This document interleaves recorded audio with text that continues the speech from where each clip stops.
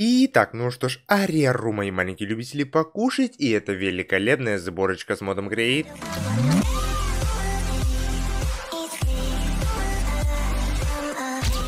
Как бы это ни было странно, с прошлой записи я ничего кардинального не делал. А все потому, что в прошлой записи мы с вами, я напомню, что завершили главу номер один. И для продвижения дальше нужно строить, как ни странно, механизмы из главы 2, из новой эры, а именно из эры латуни. Я захожу в квест «Манящая целесообразность», и здесь просто куча, уйма всего того, что просто здесь вот взрывающий мозг происходит. Здесь все квесты, которые происходят, то есть временный песок, водоснабжение, железо железа на века, все эти квесты, как ни странно, требуют от нас только одной вещи – механических крафтеров. А механические крафтеры требуют для себя латунных машин, которые крафтятся, как ни странно, из вот таких вот сложных квестов, из-за таких вот сложных крафтов, которые требуют от себя электронных ламп, которые крафтятся очень сложно. И я так понимаю, мы не сможем с вами продвинуться дальше, пока не сделаем этот самый хотя бы полуавтоматический крафт, как, допустим, нам пишут вот в этом квесте и предлагают как раз сделать полуавтоматическую схему по собранию этой самой латуни.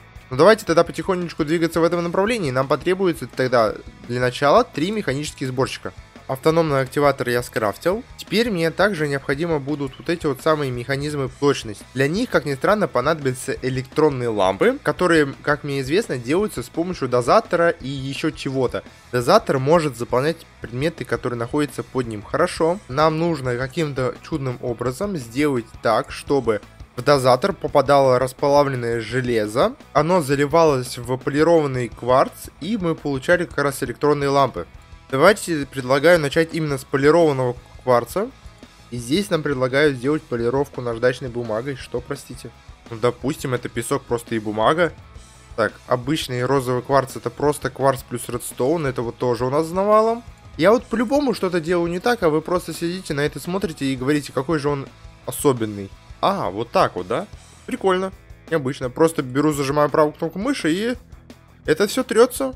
Теперь мне по-любому нужно будет дозатор скрафтить. Депо мне также понадобится. И сам дозатор крафтится, по-моему, из вот этой вот медной машины которую мы крафтили, чтобы завершить там какую-то главу. Дозаторы мы успешно получаем. И теперь пойдемте разбираться, как именно мне запихнуть расплавленное железо вот в него. Единственный мне вариант, который в голову приходит, с помощью вот этой вот плавильни сделать это таким образом, что я здесь делаю расплавленное железо, потом я помещаю его в ведро, вот здесь вот, и ведро уже запихиваю в дозатор. Но по-любому это неправильный способ. И должен быть способ как-то полегче, наверное. Я, возможно, ребят, поспешил, решив все это так безобразие делать. Потому что я вот здесь вот наблюдаю второй слой покрытия расплавленного железа на кристалл. Да, то есть по квестам нам нужно будет в любом случае эти самые механизмы делать, и нас в любом случае подведут рано или поздно к вот этой вот системе. Значит, то, что мы должны просто доверять квестам и не спешить. Но тогда у меня остаются еще большие вопросы. Как нам сделать временный песок, извините меня, для изготовления семяна истинного кварца? Если тут прям прямым текстом нам говорят сделать механические крафтеры. Возможно, придется пока что заменять это все просто большим слоем песка, который мы с вами будем добывать вручную. Просто тогда двигаемся по системе квестов. Первый квест я предлагаю сделать, это вот это бесконечное измельчение небесного камня. Как там говорится, просто нам нужно найти метеорит и накопать побольше этого самого небесного камня и уже что-то потом делать с накапанным этим самым камнем. За мои похождения долгие в мире я находил, по-моему, всего два метеорита. Вот как минимум один из них, вот второй, еще вот метеорит. И, по-моему, это все. Ну, побежали тогда к ближайшему из нас, это вот здесь он находится, и будем накапывать все необходимое. Это уже получается у нас начало Applied Energistic, и скоро мы с вами сможем, надеюсь на это, создать ME-сеть, хотя, в принципе, я проблем по снабжению с ресурсами и сундуками не испытываю. А вот и кратер от нашего метеорита. Если я все правильно понимаю, то вот здесь вот везде находится как раз таки небесный камень который без проблем сейчас мы будем добывать. Не знаю, добуду сколько здесь есть. Как раз пока я буду здесь все это безобразие добывать в сердцевине, где-то я найду здесь сундучок, который есть в обязательном порядке в каждом метеорите. И в нем находится всего одна вычислительная пластина, к сожалению. Хотя, как бы их мы можем крафтить, с помощью инвара и любых пластин мы можем с вами получать металлолом, из которого мы сможем делать прессы для любых пластин. Это неплохо, я вам скажу. Ну вот мы и дома. Успешно, я добрался. Я считаю то, что приличное количество у меня получилось добыть небесного камня. По крайней мере, на какое-то количество времени мне этого, надеюсь, хватит. Теперь давайте возьмем всего лишь пару стаков. И если верить квестам, то его необходимо нам передробить. Единственный вариант, где можно передробить у нас сейчас, это жернов. Давай, хотя бы штучку мне выдай, пожалуйста, сейчас. Ага, вот она, пыль небесного камня и сам небесный камень. Я трачу небесный камень на то, чтобы получить небесный камень. Мне нравится эта схема, зачем я тогда добывал целый метеорит, непонятно. Ну да ладно.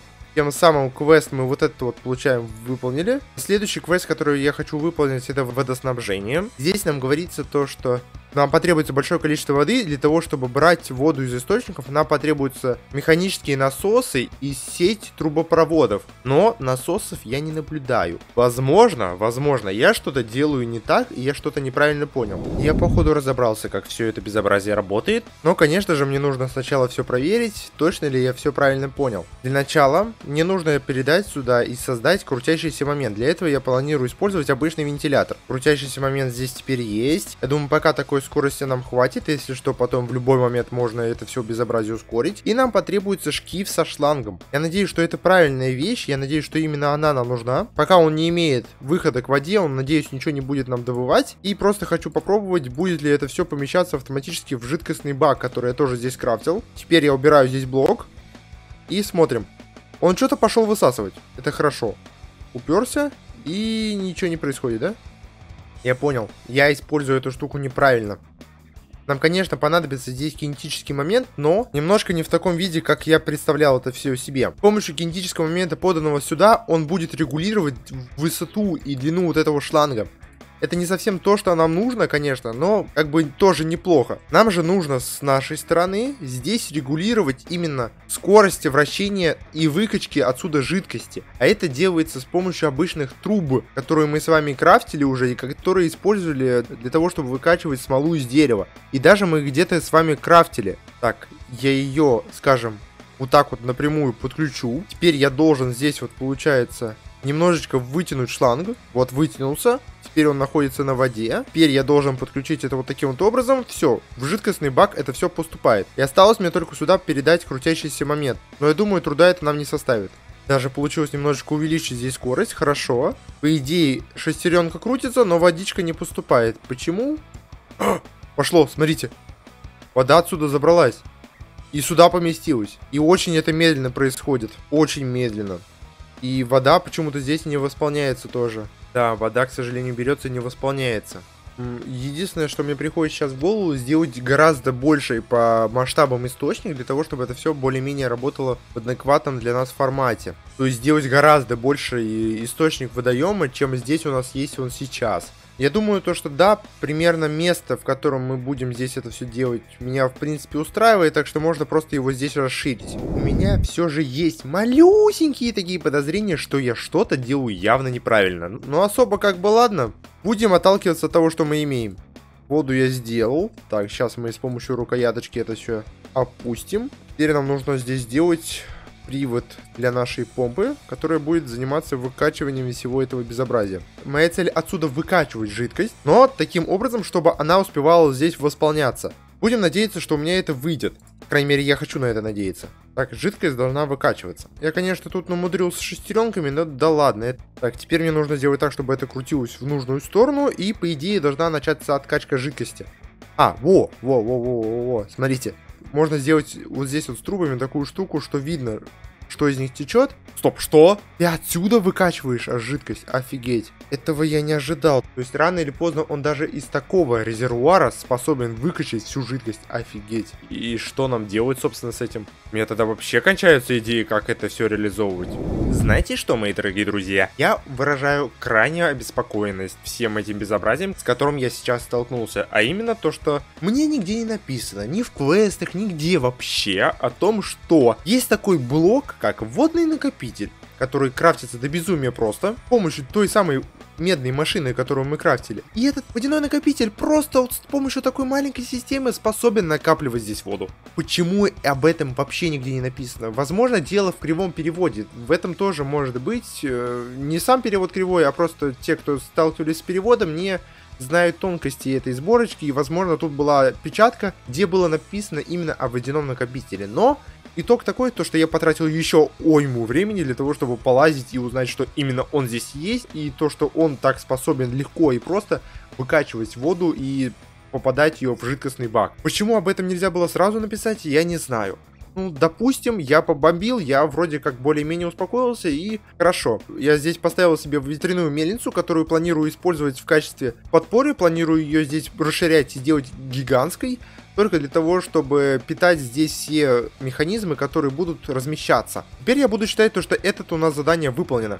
Дальше нам нужно сделать смеситель небесного камня. В принципе, я думаю, это у нас будет легко, но я бы хотел, дорогие друзья, попробовать автоматизировать этот момент. То есть у нас здесь есть жернов, и жернов мы можем скрафтить. И для того, чтобы, допустим, не постоянно вручную это все кидать туда-сюда обратно, я попробую это все автоматизировать таким образом, что просто буду в итоге получать небесный камень. Для этого мне, как ни странно, понадобится жернов и парочка еще конвейеров. Пока его размещении я не думал, где именно его размещать, но, допустим, вот здесь, вот.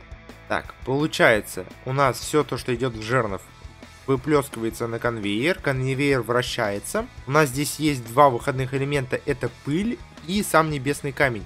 Пыль попадает в драйвер, так это надо закрепить с помощью ключа. А дальше по конвейеру у нас идет небесный камень, и он должен каким-то чудным образом попадать обратно сюда вот наверх. Я думаю использовать такую же систему, которую я уже когда-то использовал, именно вот здесь вот. То есть вот такие вот конвейеры очень странным образом идут и попадают туда наверх. По идее теперь все это готово. Осталось лишь только запитать всю эту систему, но я думаю с этим проблем не будет теперь у нас, благодаря вот этой вот системе по выработке крутящегося момента. И последний элемент. Все это запитано. Теперь осталось лишь мне вот сюда вот подвести крутящийся момент, который, я думаю, будет несложно сделать. Вот так вот получилось соединить. Жернов пошел дробить, хотя я бы тут на самом деле еще скорости добавил, но я пока не вижу в этом необходимости. Сейчас посмотрим, он у нас что-то выдаст, не выдаст. По идее, должен выдать, и вот сюда вот, по идее, у нас должна будет прийти пыль, которую мы дальше где-нибудь можем использовать вообще без проблем, благодаря чему она у нас есть практически в неограниченном масштабе. Скорость меня, пожалуй, не устраивает, поэтому давайте сразу я все это буду дело увеличивать. Ну вот, вот она теперь работает система. Все это дробится, все то, что надо, попадает в драйвер, а все то, что не надо, идет дальше. Хорошо, по квестам у нас получается вот это точно завершено и вот это вот точно завершено. При растворении порошка в воде получается жидкость какая-то хорошо, а дальше что мы с ней делать будем? Дальше мы будем ее заряжать, по идее, да? Я думаю, то, что требуется именно вот этот вот рецепт, где нам нужен смешиватель, чаша, попадание сюда пыли небесного камня плюс воды. Получается где-нибудь вот здесь вот я это все безобразие размещаю с венчиком вместе. То есть гораздо разумнее это все безобразие будет разместить вот здесь вот. С учетом того, что чаша будет принимать, я надеюсь, все правильно. Так, давайте разместим здесь коробку передач, чтобы все это безобразие запитать. И все замечательно попадает в чашу, я надеюсь, без особых проблем. Она не сможет переполниться, хотя Зная эту чашу, она может легко переполниться. Так что давайте еще немножечко видоизменим всю эту систему. Все, вот так вот она точно не переполнится. И в нее точно будет попадать вот этот вот небесный камень. Теперь мне нужно разместить все это безобразие таким образом, чтобы отсюда выкачивалась жидкость и попадала тоже вот в этот наш резервуар. Но это не сложно на самом деле, даже вот так вот немножко в декоративных целях я сделаю с водичкой. И все это должно смешиваться, как только мы подадим сюда крутящийся момент. Но я думаю, то, что скорости, которые здесь у нас есть, достаточно для того, чтобы, да, вполне достаточно для того, чтобы все это безобразие смешивалось, и у нас появлялась здесь какая-то чудная жидкость. Но чтобы доставать мне ее отсюда, мне нужна умная жидкостная труба. Потому что по-другому, беспокоюсь, у нас получится доставать оттуда в том числе и воду, чего и мне очень бы не хотелось. Умную трубу я здесь создаю, даже две. Мне сейчас понадобится ведро любое. И хранилище жидкости тоже у меня здесь имеется. Буферизация я не думаю, что когда-либо вообще будет лишней, так что пускай будет. Так получится у меня здесь забрать жидкость? Нет, к сожалению, забралась вода. Так, а кроме воды можно что-нибудь забрать здесь интересное себе? Пожалуйста. Вот. Sky Solution Bucket. То есть ведро с э, воздушной водой, я так понимаю, да? Которую я смогу запихнуть, вот, скажем, вот таким вот образом. Сейчас себе в трубу. Вот так вот, скажем, в качестве фильтра. Потом обратно сюда воду эту заливаю. Мне нужны обычные также трубы, которые я сюда вот размещаю. И, допустим, вот этот обычный жидкостный бак будет заполняться теперь ведром с водой, если я все правильно понимаю. Да, я, конечно, все правильно понимаю, но, блин, забыл я о маленьком нюансе, то что просто так это все отсюда выкачиваться не будет. Мне также понадобится здесь вот такую вот помпическую трубу ставить. То есть я делаю раз, потом я делаю два, снова фильтр сюда три и жидкостный бак. Сюда мне нужно подать крутящийся момент, но я думаю, то, что у нас вот здесь вот, в принципе, есть, я вот отсюда подам его. А, нет, смотрите. Вот в чем проблема, я обнаружил. Все, понял, как это должно работать. Сейчас отсюда забирается любая жидкость, а проходит дальше только та. Если, допустим, здесь вот будет вода, она просто будет забиваться здесь, и ничего работать не будет. То есть это все должно располагаться не таким образом. Первый отсюда должна, получается, быть умная труба. Потом уже идти вот эта вот труба, которая будет выкачивать отсюда жидкость, как, какая бы она здесь ни была. Только потом уже куда-куда это все будет система идти. Я надеюсь, что, что все правильно теперь оно размещено. Да, я убираю вот этот вот блок, пускаю дальше сюда жидкость, пусть вода течет. И сюда я запихаю также вот это вот ведро с жидкостью. Смешивание, по идее, пошло, но почему-то не пошла выкачка, хотя она должна была пойти. А, нет, все правильно, все, все, все, все, все. Беру свои слова назад, ведро у нас здесь появилось, и вот эта вот жидкость, которая необходима, смешивание небесного камня пошло именно по плану, оно у нас здесь успешно есть. Сложная была система, учитывая тот факт, то, что вот если бы я сделал нормальную систему с водой, то это вот все было бы гораздо легче, заняло гораздо меньше времени. Просто нужно знать вот этот нюанс, то, что здесь есть такой мод, но я этого, к сожалению, не знал, зато теперь знаю, и вы знаете вместе со мной. Я думаю, пока на этом все. У нас здесь есть странная жидкость. Ну а по квестам дальше нас ждет что-то такое вот очень мозговыносящее, в том плане то, что здесь временный песок нам нужен. Сделать выращивание кристаллов, на что потребуется большое количество времени. С этим я не разбирался, и тратить большое количество времени на то, что я не разбирался, тоже, я думаю, было бы очень бесполезным занятием. Как только этим я изучу, я уже сразу буду начинать записывать следующую серию. Ну и дальше все упирается буквально в это. Возможно, мы начнем в следующей серии выращивать кристаллы и также займемся обязательно фермой по автоматической добыче железа. Ну а пока у меня на это все. Всем спасибо, что смотрели. У микрофона был, как всегда, ваш покорный слуга Мамору. Еще услышимся.